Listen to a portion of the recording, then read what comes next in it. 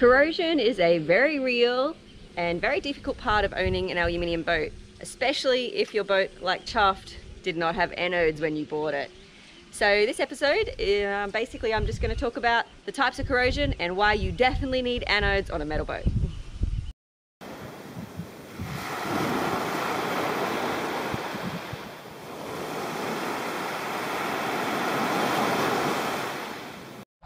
So the first type of corrosion that occurs and the most common type is simple corrosion, which is when the metal is exposed to oxygen, which causes a reaction.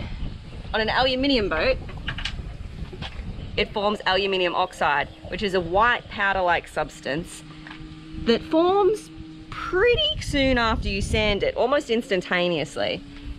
Now, aluminium oxide is actually good for an aluminium boat because it creates a protective coating, like a powder coating over it.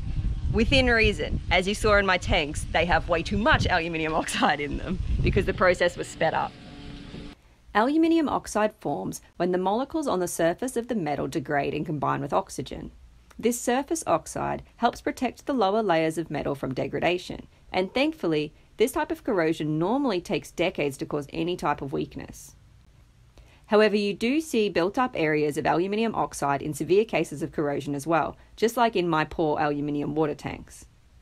This protective layer is why we leave Chuff's sides bare, Above the waterline, the oxide layer is enough to protect her. Now, many of you will have heard the word electrolysis, and as you probably guess, it's got to do with electricity. So, it's a word that's used really, really commonly though that doesn't quite describe exactly what's happening. So, for an aluminium boat, there's two main things that are happening. One is galvanic corrosion, and that's where two metals, two dissimilar metals, are in contact particularly if those two metal solutions are submerged or at the very least coming in contact with an electrolyte solution, which of course salt water is. So even on deck where I've got stainless steel fitted to the aluminium, as soon as that gets splashed with some salt water, it's considered to be an electrolyte bath and we start getting galvanic corrosion. Aluminium is unfortunately a bit of a wimp when it comes to galvanic corrosion, with most other metals having a higher voltage. So let's use an example to help explain it.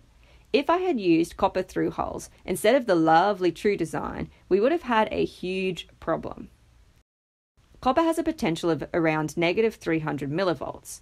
Aluminium has a potential of around negative 800 millivolts, making it the more negative metal. When immersed in electrolyte solution, such as salt water, these two different metals form a battery, with the aluminium becoming the anode, or the more negative one, and the copper becoming the cathode. Over time, the aluminium gives up its excess of electrons, sending these ions over to the cathode, eventually eating the aluminium away. The other thing that happens, especially in aluminium boats or any metal boat, is actual straight electrical current that runs through your boat. That is what has likely happened to Chuff. That's caused all of these pitting holes in her, where basically anywhere that our anti-foul had been chipped and she had been exposed to salt water, it provided an exit point for any stray electricity running through her hull doesn't necessarily mean that electricity is coming from Chuffed. Sometimes it's because she's in a marina and the electricity is actually coming from the other boats and is entering Chuffed through those holes. So that's where, again, having your anodes is so, so important because they will get sacrificed before Chuffed will. The best way to protect against electrolysis, whether it's from galvanic corrosion or corrosion from stray current, is to put as much distance between the aluminium and the other metals or electricity. For Chuffed, this meant really thick bottom paint to ensure the metal never came into contact with the lovely electrolyte solution that is salt water. You can probably hear that we're going really hard in the tanks at the moment. So I'm going to talk to you guys a little bit about how to treat the corrosion once it's happened. We first cleaned out every last tiny little fleck of aluminium oxide, which was hundreds of hours of work. Just ask Jim until we got a shiny bright aluminium base to start with. We then used a zinc phosphate etch primer, which not only adheres really well to aluminium, but also provides corrosion protection. With this on, we put on our first layer of high build primer and filled all the little holes before applying more and more and more primer, building a really thick layer before applying a copper-free eco-friendly anti-foul. A similar process was done in the tanks, which I'll talk about more in a future episode. So we now have areas installed to attach our anodes to. The anodes we are using for an aluminium boat are zinc, and the reason we're using zinc is because zinc is a less noble metal than aluminium, which means that it will sacrifice itself before Chuff starts to sacrifice. Zinc anodes are more negatively charged than aluminium, and so they start giving up their electrons before aluminium does in the presence of other metals or any stray electricity. They sacrifice themselves for the love of aluminium boats, just like I do. So I hope you've all enjoyed this uh, very minor and simple science talk.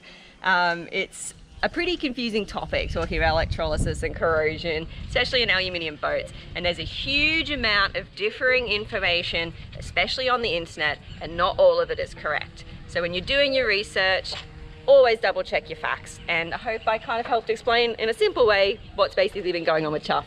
And the good news is, with new anti-foul and all these pretty new zinc anodes, we shouldn't have this problem in the future. We've also traced down any stray electrical leaks, which we only had one very minor one from the antenna going up the mast. So she should be protected and happy from now on. Yay! All right, until next time, stay chuffed everybody. Good afternoon from the boatyard. Just wanted to end this video with a very special thank you to everybody who's donated for, to our Surfers for Strays fundraiser. Um, I had to actually re-record this because my original thing was asking people to donate and we already reached the um, yeah reached the fundraising goal really quickly which is just so so amazing we're so incredibly grateful um, Natalie, who's up at Surfers for Strays already, is also incredibly grateful. We're going to be buying heaps of flea and tick products, heaps of medicine, um, yeah, really excited. And of course, a huge thank you to everybody who's a patron. Um, we obviously couldn't do this without you guys. You guys are what keep us going day to day, that keeps our treatments of all our little animals here underway, and of course of Chuffed. So, yeah, big thank you to everybody who supports us. We really appreciate it. Um, patrons do get live updates. Um, usually we try and do it weekly at the moment from the yard. They get to see the boat in all her glory as she gets closer and closer to the water. So yeah, if you've been thinking of joining, please do. And until next time, stay chuffed and I hope you enjoyed the episode.